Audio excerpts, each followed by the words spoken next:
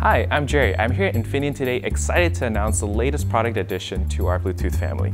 Joining this product family is our CYW20829 LE 5.4 MCU. Packed with the latest Bluetooth LE 5.4 support, features such as periodic advertisement with response or PAWR, and LE power control will help our customers future-proof their designs. Our 20829 now has more range than ever with up to 2300 meters range without an external PA, an industry best.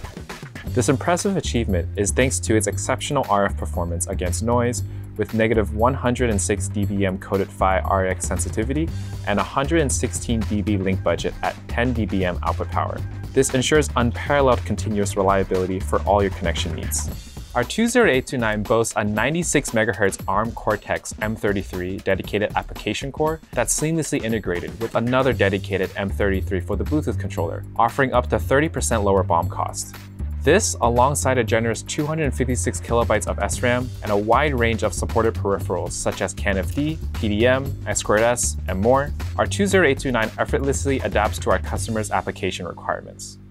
Security and privacy are core to Infineon, and we've designed the 20829 with these values in mind. Our chip supports secure boot and execution environments, eFuse for custom keys, and cryptography acceleration, safeguarding sensitive data and giving our customers peace of mind.